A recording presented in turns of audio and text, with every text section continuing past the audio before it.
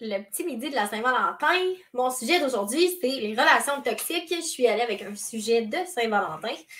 Est-ce que j'en ai qui sont avec moi? C'est le moment. Écrivez un petit commentaire, envoyez un petit cœur, qu'on puisse vous voir. Sinon, on ne vous voit pas. Donc, comme ça, juste question de nous donner un petit coup de main. Salut, salut! À savoir qui vous êtes, puis ben, de vous saluer en retour. Donc, petit sujet vraiment pertinent qui est euh, relations toxiques Super. Euh, en tout cas, moi, je trouve ça cool. Salut, Michael. Salut, Kat. Donc, ça nous permet de vraiment, euh, bon, aller cerner certaines choses, euh, certains détails qui font toute la différence. Si j'en ai qui sont sur YouTube, ben oui, n'hésitez pas à nous écrire ici. Ça nous fait plaisir d'avoir votre petit coucou. Bonjour. Donc, relation toxique.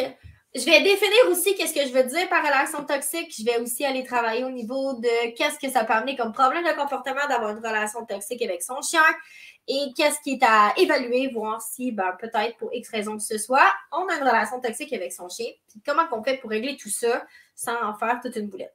Donc, euh, salut Elisabeth, Valérie, Valérie, Valérie, encore deux fois. Hello tout le monde. Donc, salut Isabelle, comment ça va avec Flash? Bon, salut Linda aussi, allô, allô, allô. Donc, n'hésitez pas à écrire euh, vos commentaires euh, ou tout simplement des questions si vous en avez. Salut Charlotte, comment ça va avec bébé chien? Salut Julie. Comment ça va, Julie? Ça fait un petit bout qu'on s'est pas vu euh, avec ton petit pied et tout. C'est la bonne Julie, en tout cas, dans un sens. Je vois pas la photo exacte. Bon, donc, relation toxique. Ce que je vais définir comme relation toxique, en fait, c'est toute relation qui va nuire d'une quelconque façon à ce moment-là à l'animal ou à l'individu. Vous le savez, moi, j'aime ça voir les deux côtés de la médaille dans les deux sens. Relation toxique peut dire des comportements désagréables que le chien fait qui fait en sorte que ça nuit à la personne et l'inverse, quelque chose que le chien, à ce moment-là, c'est le chien qui subit. On parle tout le temps dans les relations, le problème du chien, le problème du chien, le problème du chien, ou bien à l'inverse, maintenant on est rendu le problème du maître, problème du maître, problème du maître. Moi, ce que je veux, c'est vraiment qu'on parle des deux côtés, puis qu'est-ce qui joue sur quoi. En commençant par l'affection. Premièrement, on va définir l'affection puis l'objectif de l'affection. Chez l'humain, l'affection est perçue majoritairement comme étant offrir de l'amour à quelqu'un, de le toucher, de le flatter, de porter attention. Donc, à ce moment-là, on se sent beaucoup valorisé. Il y a aussi tout un transfert d'énergie, un transfert aussi de, en tout cas, de, plusieurs choses qui, viennent en ligne de compte. Chez le chien, le toucher est associé à du toilettage pour la majorité, à de l'entretien euh, et à ce moment-là, évidemment, à un aspect énorme de confiance. Donc, on voit déjà là qu'il pourrait avoir une discorde par rapport à la situation parce que ça ne veut pas tout à fait dire la même chose. Donc, quand moi j'arrive et que je flatte mon chien, premièrement, est-ce que mon chien est affectueux ou pas affectueux? Est-ce qu'il va percevoir ça de la bonne façon? Donc, ça, c'est des choses qu'on doit se pencher. Est-ce que mon chien perçoit ça vraiment comme un good boy, je suis fier de toi, ou il perçoit ça juste comme une irritation à ce moment-là? Donc, ça, c'est la première chose. L'affection peut être source d'un très grand conflit dans la relation avec le chien, surtout si le chien ne perçoit pas de la même façon ou qu'on est too much tout le temps après le chien, puis qu'à un moment donné, on devient juste une irritation pour le chien. Donc, dès que le chien s'approche. Voici les signes à voir lorsque j'ai un chien qui est irrité par la situation, par exemple. Le chien fuit le manière quand c'est le, manière, le manière le boss ou le propriétaire du chien plus beau propriétaire. Le propriétaire du chien vient à flatter son chien à ce moment-là sur un rappel, puis finalement, le chien s'éloigne. Donc, ça, ça peut être trop de toucher, trop de manipulation. Euh, le chien, par exemple, euh, à toutes les fois qu'on arrive pour le flatter, il fait le saut. Ça, c'en est une deuxième chose.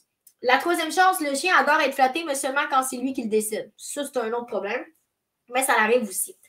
Une autre situation aussi qu'on pourrait voir à ce moment-là qu'il y a trop de flattage, c'est de l'aboiement excessif. Un chien, là, vous allez dire, c'est quoi le rapport avec l'aboiement excessif? C'est qu'un chien qui est constamment cajolé va être puis des fois, on rajoute quelque chose en plus dans son verre d'eau qui est déjà plein, ça peut aller créer de l'aboiement qui est inutile à ce moment-là. Donc, j'ai certains comportements qui devraient peut-être s'allumer. Est-ce qu'il y en a qui ont des comportements comme ça qu'on s'en rend compte ou qu'on s'en rend pas compte?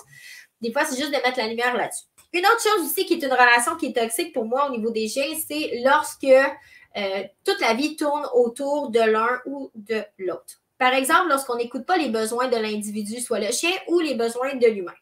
Par exemple, si toi, tu es propriétaire d'un chien qui est très indépendant et que ton objectif, par, exemple, c'est euh, d'avoir un chien qui est un peu affectueux, euh, de pouvoir te, coucher avec, puis de, pouvoir euh, dormir en cuillère, avec le chien, lui, ça ne tente pas, par exemple, parce que tu as un husky qui est chaleureux, puis lui, est comme fou-moi patience. Si c'est pas pour me toiletter puis m'entretenir, je vois aucun intérêt d'être flatté. Ben, à ce moment-là, vous allez peut-être vous retrouver dans une relation où est-ce que soit vous allez devoir lâcher prise puis accepter que le chien est comme ça, ou à l'inverse, vous allez devoir à ce moment-là prendre une décision parce que peut-être que ça vous travaille trop. OK? Les deux, les deux réponses pour moi sont correctes. C'est pas négatif, c'est pas, pas la fin du monde. Il faut juste en être conscient que ça se peut que finalement vous n'ayez pas la même vision des choses. Fait que soit on l'accepte, puis on travaille au travers de ça, puis on développe une relation au travers de ça, ou soit on prend une décision et que ça OK? Je vous dis pas de vous débarrasser de vos chiens, c'est pas ce que je dis. Ce que je dis, c'est vraiment juste d'en être conscient puis de voir quel niveau. Est-ce qu'on est capable d'aller chercher un entre-deux aussi? Des fois, le chien peut ne pas être affectueux, puis finalement, avec le temps, il peut devenir avec la confiance, par exemple. Oui, euh, bye, Amicael, on se voit en replay. Donc, ça, c'est la première chose, le côté d'affection. L'autre chose qu'on pourrait voir comme relation toxique, c'est quelqu'un qui euh, pas un bon matching de personnalité. Par exemple, j'ai un petit chien qui est super gêné, euh, plus délicat, euh, plus tendance à longer les murs. moi, je suis quelqu'un de super extraverti qui ne regarde pas mes gestes, qui est toujours en train de bouger comme ça. Puis à ce moment-là, j'arrête pas de faire peur à mon chien à toutes les fois. Au même titre que les gens qui aiment faire peur à leur chien juste pour les voir sursauter. Des fois, le matching, ça pourrait être toxique aussi. Un autre truc qui pourrait être toxique aussi, c'est par exemple les gens qui ont un chien euh, dans un certain sport. Par exemple, mon chien, moi, je ne sais pas, je vais donner ça vraiment typique, mais moi, j'aime faire du dog diving avec mon chien, donc j'aime que mon chien saute à l'eau, c'est le sport que j'aime le plus, mais mon chien n'aime pas l'eau. Donc, ça, ça peut arriver aussi, où mon chien, euh, c'est rare un chien qui n'aime pas courir, c'est pour ça que je n'ai pas été dans, dans celle-là, mais exemple, j'ai un, un, chien qui est super sportif, j'ai un berger australien, mais moi, j'ai une vie de famille, euh, puis je suis les mains pleines, puis je suis très occupée, puis à ce moment-là, j'ai pas le temps de sortir le chien puis de donner l'exercice physique nécessaire. Donc, ça peut devenir une relation toxique. Fait pour moi, ce qui est important de comprendre, c'est vraiment de s'asseoir, c'est quoi les besoins de ton chien selon sa race, selon sa personnalité? Est-ce que tu comptes ces besoins-là? Et à l'inverse, l'autre côté de la médaille, c'est nous-mêmes de s'asseoir puis de regarder, voir quels sont mes besoins. Pourquoi je me suis procuré un chien? Parce que c'est une responsabilité qu'on a pris, mais c'est aussi, je veux pas, un, un entente qu'on on, a pris avec le chien de dire je vais m'occuper de toi. C'est pas juste de te nourrir puis de te donner une coupe de biscuits de temps en temps. C'est vraiment de pouvoir subvenir à tous ses besoins psychologiques et physiques. Donc, moi, pourquoi j'ai décidé de me procurer un chien? Est-ce que c'était justement dans un but d'avoir un best body? Est-ce que c'était dans un but de faire une activité avec lui? Est-ce que je voulais avoir un chien de compagnon pour m'accompagner dans mon travail, par exemple? Est-ce que je voulais euh, un exemple aussi, je vais avoir un chien qui m'accompagne dans mon travail, mais j'ai choisi le chien le moins sociable qui n'aime pas les autres personnes. Puis moi, je vis dans un bureau avec beaucoup de gens. Des fois, le matching n'est peut-être pas parfait. Euh, des fois, aussi, ce que je vois gros, c'est les gens qui veulent avoir, euh, je ne sais pas moi, un chien, mais ils veulent faire de la zoothérapie, mais le chien n'aime pas les manipulations pour X raison que ce soit, soit la façon qui est élevée, des choses comme ça, on voit peut-être que le match, n'est pas bon. Fait que dans un monde où est-ce qu'on croit des fois que tout est changeable, que tout est malléable, puis qu'on peut tout changer, on peut gérer certainement, on peut aider. Des fois, je trouve qu'on pousse un peu notre luck à dire finalement, on a peut-être une relation qui n'est pas tant top avec son chien, puis qui n'est pas nécessairement la meilleure des relations qu'on pourrait avoir, versus si j'aurais été avec un chien, exemple, qui fit vraiment avec ma personnalité. Donc, on est deux sportifs, on aime ça bouger, on aime ça courir, j'aime ça faire de la montagne, euh, j'aime pas, je suis pas quelqu'un qui est physique, qui aime ça bousculer, donc j'évite les chiens qui sont plus physiques. Je vais me diriger vers un chien, qui, qui est peut-être plus euh, à distance, puis on s'entend bien, puis finalement, on finit par vivre 12 ans de bonheur avec notre chien. Fait c'est ça qu'on doit comprendre, c'est que des fois, dans certains cas, il y a une partie de ce qu'on doit apprendre à lâcher prise. Il y a des affaires que le chien est comme ça. Si on l'accepte, c'est correct. Puis il y a d'autres choses, il faut se pencher sur la question est-ce que ça se travaille ou ça se travaille pas, puis à quel point ça me dérange aussi au travail de ça. Ici, Val, moi, j'ai dû accepter euh, qu'il ne soit pas affectueux. Depuis que je, lâche, je le lâche tranquille et avec la maturité, il y a plus de proximité. C'est exactement le but. Des fois, en forçant la note, euh, surtout chez les animaux, on a tendance à croire que le chien est d'emblée le meilleur ami de l'homme. Mais on oublie que le chien a besoin de se bâtir une relation avec l'humain. Il a besoin de se bâtir une relation basée sur la confiance, euh, basée sur un, un, environnement aussi qui est sain. Fait que des fois, c'est important de lui donner le temps à ce moment-là, puis de ne pas trop cajoler, puis de donner vraiment le temps à venir à nous, puis finalement, le chien finit par être super euh, affectueux, puis il finit par démontrer euh, vraiment un intérêt par rapport à ça. Fait que des fois, de donner du temps aussi, ça peut valoir la peine. Faut pas tout de suite se rusher sur la porte de mon chien, moi, paniquer. Ça, c'est une autre chose aussi, souvent, puis là, c'est complètement en dehors de relations toxiques, c'est que souvent, on a tendance, surtout pour un premier chien, on n'a pas nécessairement l'image de plus tard. Fait qu'on sait pas si plus tard mon chien va être comme ça. Fait qu'un peu, il faut comme faire confiance dans le néant un petit peu. Euh, puis à ce moment-là, laisser les choses aller. Des fois, c'est bon d'avoir un lâcher-prise par rapport à ça aussi, puis de se dire, ben, mon chien est comme ça, puis s'il est correct, il est correct. S'il n'est pas, ben, je vais vivre avec, puis je vais faire d'autres choses, par exemple. Puis, ça va juste t'aider au fur et à mesure aussi dans ta relation, puis tu n'auras pas besoin non plus de commencer à, à forcer. Tout ce qui est forcé chez un chien, euh, d'emblée, surtout dans des situations comme ça, va t'amener habituellement peut-être plus de problèmes. Donc, de l'agression si, par exemple, le chien est vraiment pas intéressant. Salut Pat, comment ça va? Euh, salut Lala aussi, je viens de voir. Donc, lorsqu'on travaille un chien, pour éliminer la relation toxique, ce qu'on veut avoir, en fait, c'est respecter l'animal dans ses besoins psychologiques et physiques. Donc, si mon chien a besoin de bouger, s'assurer qu'il y a un moment pour bouger et s'assurer qu'il y a des moments pour relaxer. Ensuite de ça, S'assurer également, salut Pascal, s'assurer aussi de voir est-ce que mon chien a un désir d'avoir quelque chose à faire. Par exemple, quand je vais dans les bergers, les malinois, euh, bergers australiens, ils ont besoin d'avoir comme une espèce de job à faire. Donc, est-ce que mon chien a quelque chose à faire? Y a-t-il un, idéal? Puis à ce moment-là, est-ce que mon chien, je suis capable de le faire focuser là-dessus pour qu'il soit vraiment en train de se développer puis de se valoriser là-dedans? C'est un peu une partie aussi du pourquoi qu'on fait de l'obéissance avec son chien, c'est que le chien puisse se développer. Ensuite, est-ce que mon chien comble mon besoin d'avoir un chien? Est-ce que euh, le besoin, par exemple, c'est d'avoir un chien comme compagnon de vie, de passer du temps avec lui, euh, puis à ce moment-là, de développer des aptitudes quelconques, donc que ce soit de la montagne, marcher, choses comme ça, courir, faire du vélo? Est-ce que mon chien comble ce besoin-là? Ou pas? Fait que, les questions qui sont vraiment très spécifiques à se poser vont nous aider à dire quel plan de marche que je vais élaborer plus tard pour essayer d'enrayer le plus possible tous les petits problèmes de communication qu'on pourrait avoir dans notre relation pour finalement passer d'une relation qui était peut-être toxique à une relation qui finalement devient plus équilibrée, qui est basée non seulement sur le respect de chacun, basée sur l'équilibre des besoins de chacun, qu'il y a des journées que des fois c'est le chien qui paye, puis d'autres fois c'est nous qui payons, puis des fois c'est des journées qui sont plus fun pour un, moins fun pour l'autre, et que finalement au fur et à mesure que ça devient plus fun pour tout le monde. Et par la suite, une fois que ta relation a été bâtie, dans le fond, sur quelque chose qui est solide, c'est plus facile de faire les choses. Là, ça va bien humain la façon que je parle. le but, c'est juste d'aller verbaliser pour justement monsieur, madame, tout le monde. Mais la réalité, c'est qu'un chien, ça pense pas tout à fait de la même façon. Le chien, en fait, habituellement, puis selon les recherches qui ont été faites, puis même ce que moi j'ai vu, c'est qu'un chien va chercher à créer une relation qui est basée tout d'abord sur la confiance, sur le respect de chacun. Ensuite, une fois que ces deux choses-là sont élaborées, après ça, on peut vraiment en venir à avoir une relation encore plus, loin. Là, après ça, on peut tomber dans l'affection. Donc, souvent, on va vraiment y aller là, tu sais, sur OK, mon chien, j'ai travaillé avec lui, j'ai développé des choses, donc l'obéissance, des choses comme ça, c'est cool. Mais est-ce que mon chien me respecte? Donc, est-ce que mon chien me bouscule constamment dans les portes? Est-ce que mon chien est constamment en train de, de tester la limite? Est-ce que mon chien est constamment en train de me sauter dessus ça devient vraiment désagréable? À quel point je trouve que mon chien est agréable dans ma vie? Deuxièmement, est-ce que mon chien, est-ce que mon chien à ce moment-là, est-ce qu'il a confiance en moi? Est-ce que je suis capable de faire les manipulations, couper les griffes, nettoyer les oreilles, faire les toilettages de base qui sont importants? Parce que l'affection, c'est important chez les chiens aussi. Il faut juste savoir quand le donner.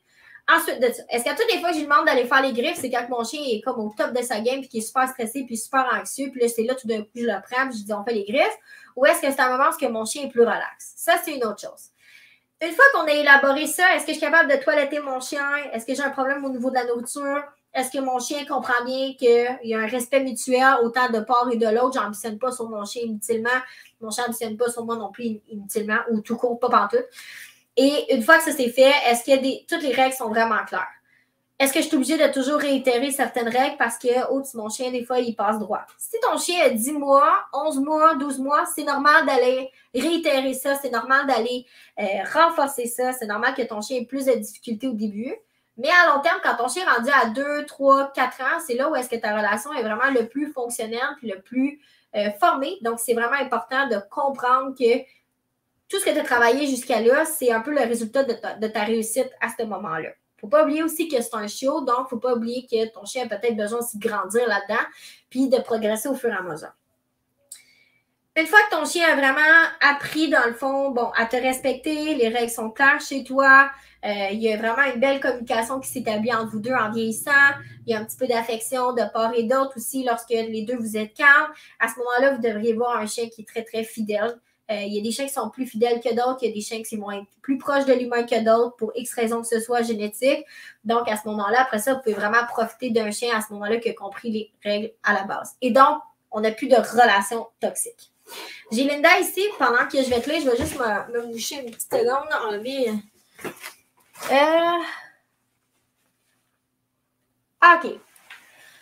J'ai choisi Willow pour faire des activités avec. Mais étant réactif, j'ai dû mettre ça de côté. Willow a déjà été habituée avec certains entraînements, chien de conformité. Donc, ça aussi, c'est une autre situation qui, des fois, peut être épuisante. La réactivité en laisse, ou le chien qui est réactif en tant que tel. OK? La majorité des gens qui viennent me voir lorsqu'il y a un chien qui est réactif, vous savez, moi, ça fait 10 ans que je fais du terrain, hein, j'ai fait de la consultation privée, du cours de groupe, euh, j'ai mis la main sur beaucoup, beaucoup, beaucoup de chiens la majorité des gens que j'ai vus qui ont des chiens réactifs, pour la majorité, ont été très, très déçus parce que leur objectif, c'était d'amener le chien partout. Ce qui est arrivé souvent, c'est qu'on veut tellement l'amener partout que dès qu'il est bébé chien, on commence déjà à l'amener partout pour être sûr de bien socialiser. C'est pas une erreur qui est, fatale, OK? C'est juste que des fois, les endroits où on l'a amené, le chien s'en est pas fait une idée, puis il est passé par des phases de peur, puis finalement, ça a créé l'effet inverse, c'est-à-dire que mon chien est devenu réactif malgré la socialisation qui aurait dû être parfaite. Donc, pour moi, ça, c'est la belle preuve de la personne qui s'est impliquée dans son chien, qui est motivée, qui l'a amené à, avoir des choses, qui a travaillé certaines choses, mais que des fois, dans certains cas, on a comme oublié que ce qui est important dans la socialisation, c'est que le chien soit à l'aise dans les environnements dans lesquels il va et non pas nécessairement qu'il en voit trop, mais qu'il voit des choses qui sont, qui sont positives pour lui. Fait ici, côté relation, bon, peut-être que Willow, je ne connais pas du tout euh, ton bagage euh, par rapport à ça.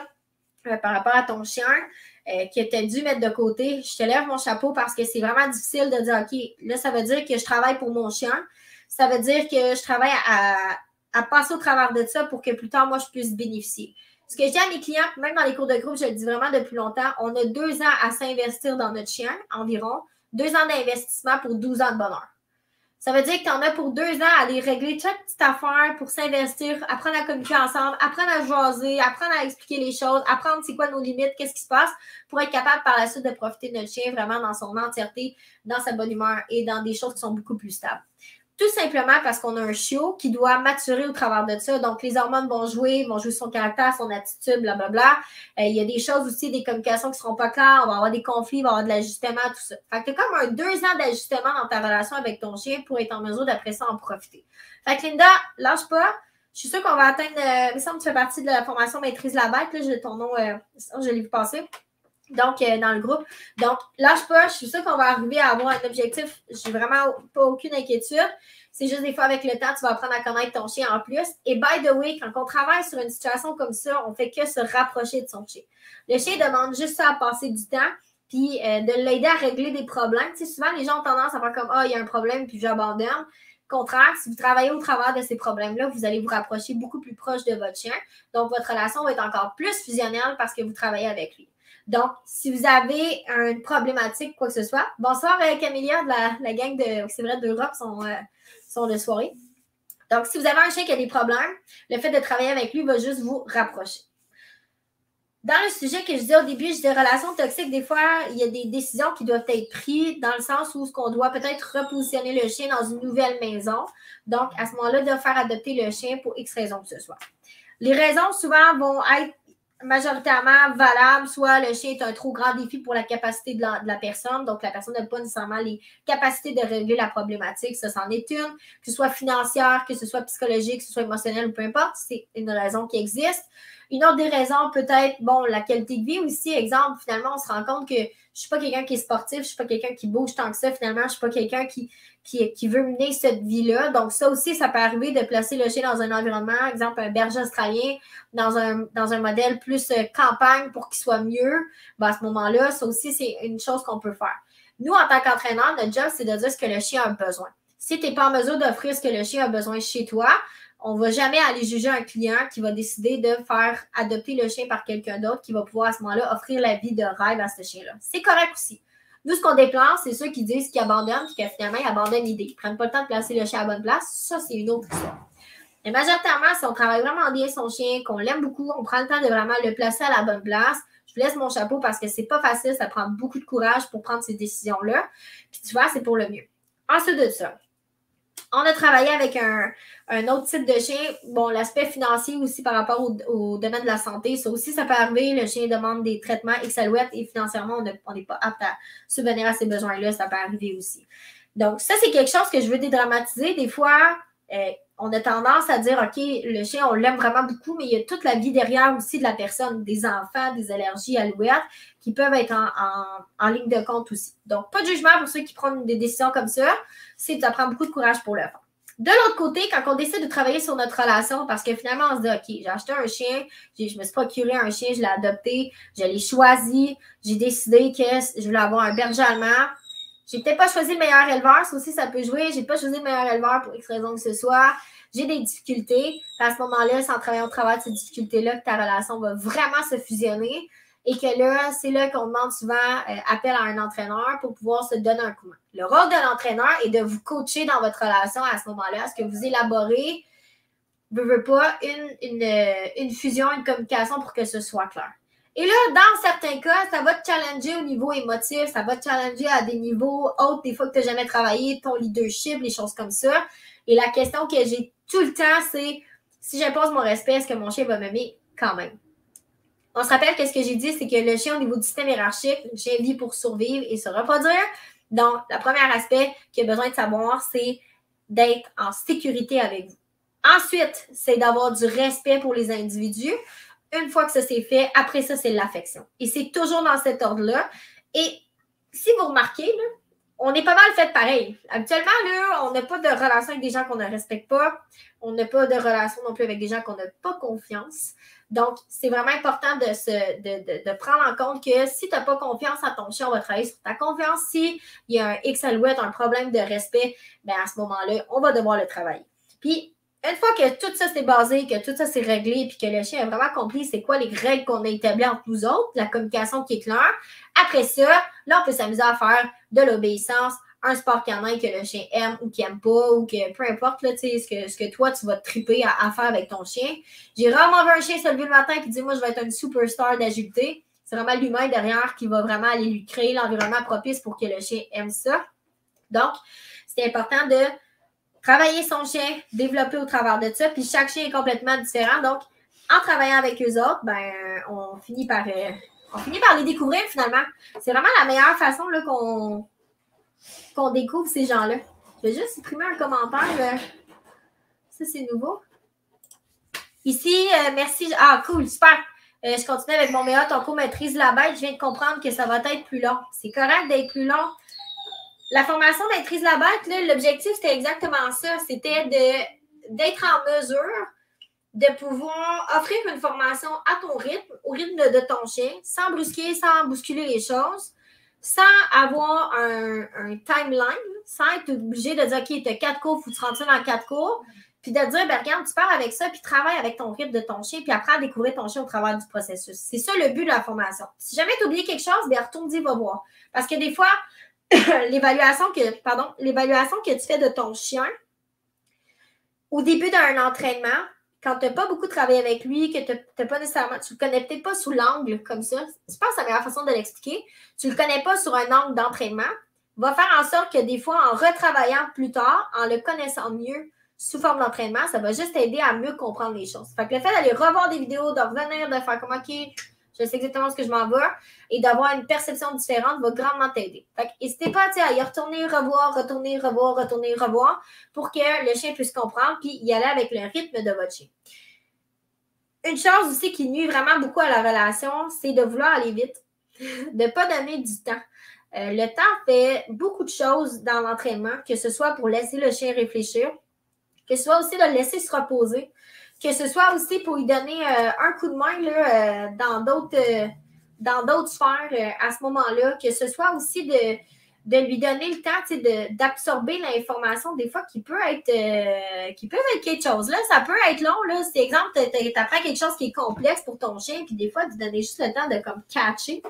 ça aussi, ça peut, ça peut être difficile, surtout quand tu aimes l'entraînement. Ça, c'est une des relations toxiques que je vois. OK, là, je vais vous le dire, c'est une anecdote, là, mais une chose que je vois souvent, c'est la personne qui tripe tellement sur l'entraînement, mais elle va surcharger son chien de plein de tripes. OK, le chien, il tourne, il spin, il fait plein d'affaires, il fait plein, plein de choses. Le chien est full stimulé parce que toi, tu aimes l'entraînement, mais ton chien n'a pas le temps d'absorber. Fait que finalement, ton chien arrive à 8, 10 mois, puis il est complètement épuisé.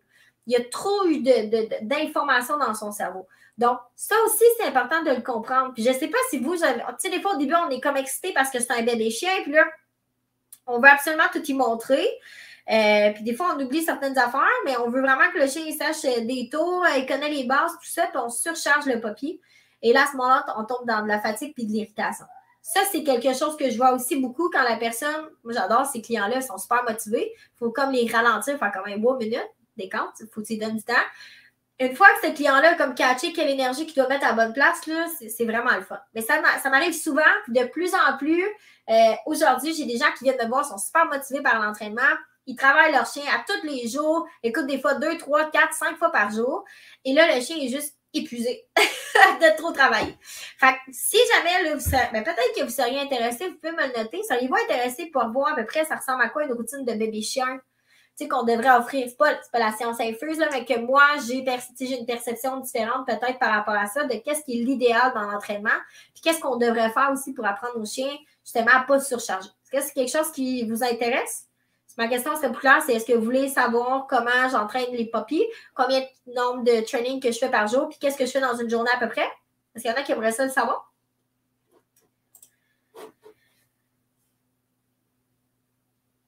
Isabelle a dit Moi, ça m'a vraiment aidé de comprendre que je devais prendre plus le lead. Oui, ça, c'en est un autre aussi là, euh, qui, est vraiment, euh, qui est vraiment important. Euh, je vais le définir, le leadership aussi. Je pense que ça va être, ça va être bien. OK, bon. À quoi ça ressemble ma journée avec mes puppies? Donc, premièrement, un bébé chien, ça doit dormir beaucoup. Donc, je vais toujours alterner à ce moment-là un moment d'entraînement, puis un moment, puis un moment de repos. Puis le repos, là, ça peut être facilement une bonne heure de repos pour que le chien puisse vraiment dormir, relaxer là-dessus. Plus le chien est bébé, évidemment, c'est simple. Un bébé chien, pour moi, quand il rentre ici, ma priorité, c'est de travailler la propreté puis ma relation. OK? J'ai aucune autre envie de travailler quoi que ce soit. Puis avec le bagage que j'ai cumulé les dix dernières années, j'ai fait des erreurs sur des bébés chiens. Et aujourd'hui, on me demande comment, quoi, comment créer mon bébé chien. Automatiquement, euh, ma relation, puis la propreté, à ce moment-là, vient avec le jeu. C'est pas mal les trois choses que je vais faire. Donc, je vais sortir le petit chiot à toutes les, à toutes les, heures. Il retourne dans sa cage. Il y a des moments avec moi. Donc, tout est un peu structuré pour qu'est-ce que tu peux faire puis qu'est-ce que tu peux pas faire. Puis je lui permets pas de pouvoir se balader partout dans la maison puis de trouver quelque chose à faire puis d'avaler un truc puis finalement, en tout cas, c'est dur pour sa santé. Donc, ma routine ressemble à ça. Le matin ou la nuit, le bébé chien. Je sors le bébé chien, je sors avec lui dehors pour faire pipi.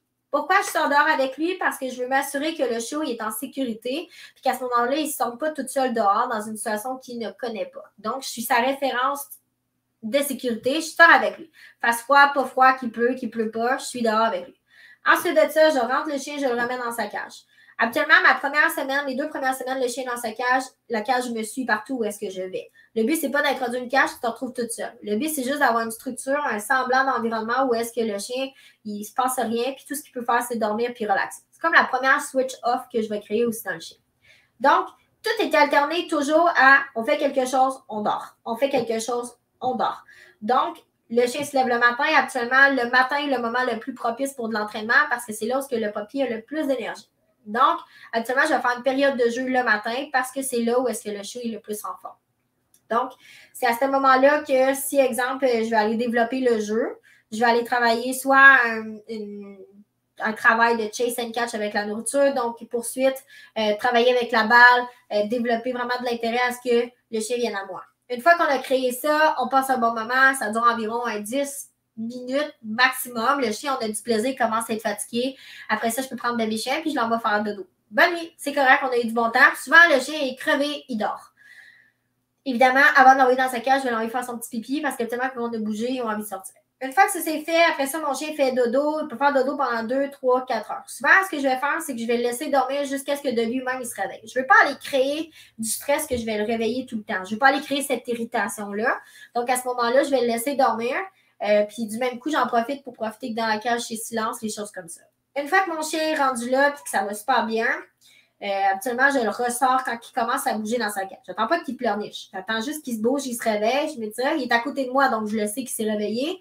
Je le prends, je le ramène dehors, je le laisse faire son pipi dehors, la même chose. Actuellement, on se donne une petite période de 15 minutes, il est encore réveillé, mais souvent, il est un peu patate, tout dépendamment sur l'heure du dîner. Euh, une fois que ça s'est fait, bon, après ça, encore là, je vais alterner à ce moment-là des moments pour moi. Moi, j'aime passer du temps avec le bébé chien pour faire des manipulations, pour jouer. Ça dure pas longtemps, un 10 minutes, mais après ça, je le remets à ce moment-là dans la cage, que ça reste positif. Je veux pas que ce soit toujours un conflit de me battre avec. Donc, petit moment pour manipuler, toucher, jouer avec les pattes, jouer avec les oreilles, on a du plaisir. Euh, tu sais, je passe un moment avec lui. Fait que je vais toujours alterner comme ça d'un côté et de l'autre et retour à la cage pour le repos. Donc, ça, c'est vraiment important, là, les alternances, la micro-gestion pour les bébés chiens. Chez nous, c'est extrêmement important. Ça habitue le chien à la cage. Ça permet aussi au chien de ne pas faire des erreurs que je vais être obligée de corriger je n'ai pas envie de corriger. Fait honnêtement, un bébé chien, c'est très rare que je vais le corriger parce que je vais essayer de manager l'environnement pour maximiser sa, réussite pour que je n'aie pas à corriger. Surtout les deux premières semaines, c'est vraiment important. Une fois que ça s'est fait, bon, après ça, mon, bébé chien, il est super, euh, il est super enjoué, il commence à grandir, l'énergie commence à monter. Donc, je commence à avoir plus de moments à ce moment-là où est-ce que le chien peut être avec moi. Donc, les périodes de jeu vont s'extensionner. Tranquillement, pour amener des périodes d'entraînement. Les deux premières semaines, moi, le papy sort pas de chez nous. Euh, il va socialiser, désensibiliser avec mon environnement chez moi. Donc là, je peux m'amuser, exemple, bon, passer sur un petit pont, passer à des endroits, les choses comme ça, tu sais, pour que le chien soit à l'aise juste d'être chez moi. Donc, ça, là, les deux premières semaines, pour moi, c'est critique. C'est apprendre à aimer, apprendre à aimer l'environnement dans lequel tu es. Il n'y a pas de stress, même s'il y a des choses bizarres. Euh, tu sais, passer la tondeuse, ces choses comme ça, là, c'est toutes des affaires que je vais faire avec bébé chien. Donc, ma routine ressemble à ça. Puis, en alternance de faire une sortie au fur et à mesure. Puis, bon, à chaque journée, ça peut changer tout dépendamment de ce que je vais faire je veux le moins possible appliquer une correction sur le bébé chien qui serait inutile. tranquillement, je vais donner plus de liberté au chien, le laisser faire ses choses avec une laisse qui traîne en arrière parce que je ne veux pas les corriger personnellement directement au collier. Donc, je vais corriger avec la laisse. Exemple, le papier fait des tentatives plus tard. Mais c'est vraiment plus tard dans le processus. Pour le moment, je fais travailler vraiment micro-gestion, passer du temps de qualité avec moi, micro-gestion, passer du temps de qualité avec moi. Ce qui fait que plus tard, dans ma micro-gestion, je vais la transférer, exemple, pour un chien adulte dans ma routine. Tranquillement, quand le chien commence à vieillir, il commence à prendre plus de maturité, le chien commence à prendre plus d'autonomie. Donc, à ce moment-là, je vais être en mesure de pouvoir le mettre par la suite sur le tapis en reste, comme Kida ici qui est derrière. Donc, de mettre le chien sur le tapis tranquillement, qui va être encore un, modèle de structure. Vous comprenez que dans ma micro-gestion, ce n'est pas quelque chose que du jour au lendemain, je change. C'est toujours quelque chose qui, en progression, va amener à de la liberté. Dans un but que mon chien connaisse bien le reste tapis ils connaissent aussi les règles de base du rappel. Une fois que tout ça s'est construit, qui sont pas mal les deux affaires pour moi importantes, là, pour vrai, marche au pied, choses comme ça, c'est futile, c'est de l'obéissance, mais le rappel, le rappel puis le tapis, rien faire, c'est les deux choses les plus importantes, puis jouer avec moi, puis qu'on est cool. Une fois que j'ai bâti ça, une fois que tout est clair, puis qu'on n'a plus de stress, c'est beaucoup plus facile après ça de l'enseigner quoi que ce soit au chien. Après ça, ça dépend de qu'est-ce que tu veux faire. Tu veux -tu faire de l'agilité, tu veux -tu faire quelque chose, dépendamment de ce que tu veux développer.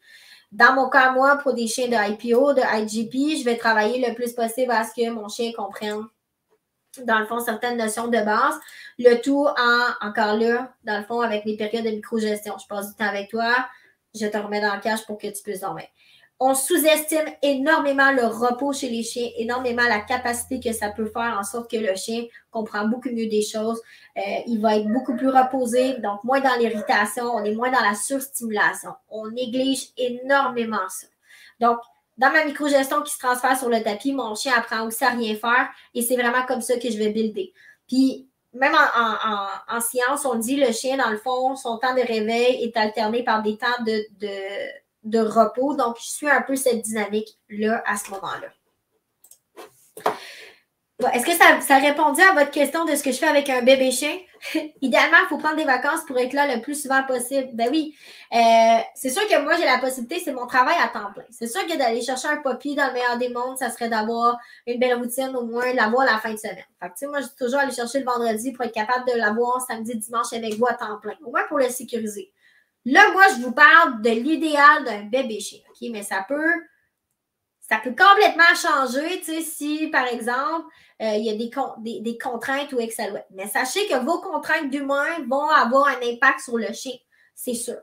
C'est ça, c'est ça, c'est ça. Si, exemple, tu n'as pas la possibilité de le sortir durant ta journée, ben, tu risquerais d'avancer un petit pipi dans sa cage. Ce petit pipi-là dans sa cage va mettre le chien extrêmement inconfortable. Tu as deux choix. Le chien va tomber très propre dès le départ ou, à l'inverse, le chien peut tomber dans une situation problématique où est-ce que finalement, il est capable de se retenir et qu'il ne devient pas propre dans sa cage. Donc, le truc, moi, ce que j'aime, c'est être proactif. J'amène mon chien à comprendre des choses. Le but est toujours en mode training, donc c'est plus facile de l'amener à comprendre des choses.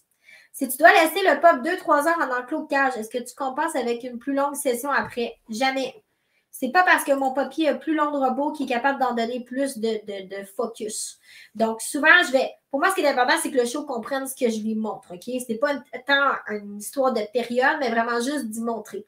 Puis, si, exemple, j'y montrais quelque chose de trop complexe, je peux rétrograder mon exercice. Euh, le couper en baby chunk, le, couper en, en, petits morceaux pour que mon chien finisse dans le succès. Donc, mon but, c'est vraiment d'aller décortiquer mon exercice pour que ce soit facile pour un bébé chien, mais qu'il puisse le comprendre en une session. Et non pas d'être pris avec un chien qui n'a pas compris tout à fait dans la première session, que là, finalement, on fait juste étirer la session trop long. Finalement, c'est mon exercice qui est trop compliqué. Donc, pour moi, c'est important de peut-être, on régresse un petit peu, on y va avec des petites choses, le chien finit par progresser, le chien comprend, et après ça, c'est plus facile de travailler dans de la motivation. Donc, ça, vraiment important. Faire des petites, on dit, ah, fais juste travailler cinq minutes puis lâche-le. Ce que ça va créer, ça peut créer beaucoup de frustration chez ton chien. Ça peut créer aussi un désintérêt pour l'animal de travailler parce qu'il n'obtient jamais, dans le fond, la réussite. Fait que pour moi, ce n'est pas tant une question de temps, mais une question de ce que mon chien comprend. Fait que si, exemple, après deux fois, il a compris, je peux le lâcher là-dessus aussi. Ou je peux y en demander plus, dépendamment du chien aussi. Ça dépend toujours de la personnalité et tout ça qui va aller avec. C'est sûr, j'en fais une idée aussi selon le chien que je travaille. Mais j'essaie de ne pas me rendre dans de l'épuisement euh, excessif. Mais de l'épuisement parce que je ne comprends pas, ça peut être nécessaire, ça peut être bon, mais en surcharge, parce que c'est moi qui ai mis ça trop compliqué, bien là, pour moi, ça amène d'autres choses. Fait que, c'est toujours une question de, balancer d'un côté à l'autre. Bref, c'est comme ça que je monte mes papiers. Euh, puis j'y vais en étapes. Puis pour moi, après ça, après deux semaines, ben, je peux commencer à les sortir. Je travaille mon engagement, mon exercice d'engagement, combiné avec la micro-gestion. Donc, j'ai une cage dans l'auto. Le chien est toujours euh, à une place où est-ce qu'il sait qu'il est safe, qu'il n'arrive à rien. Puis moi aussi, que je peux me reposer des deux côtés. Comme ça, mon chien ne développe pas de problème de réactivité parce qu'il est stressé dans le véhicule. Fait que, c'est toutes des choses. En étant proactif, on élimine beaucoup, beaucoup de problèmes de comportement qui arrivent juste pas parce qu'on a pris les devants. Est-ce que ça a répondu à votre question? J'imagine que oui, j'ai pas de réponse, fait que ça veut dire que c'est bon. Mettez un petit cœur si ça a répondu. Euh, mettez un cœur soit en commentaire. Vous pouvez liker aussi la, publication si ça a répondu à votre question. Donc, pour répondre à relation toxique en cette euh, toxique, pardon, en cette, euh, en cette journée de Saint-Valentin, essayez le, plus possible d'évaluer de, façon objective votre relation avec votre chien. Je pense que c'est le premier truc qu'on pourrait faire.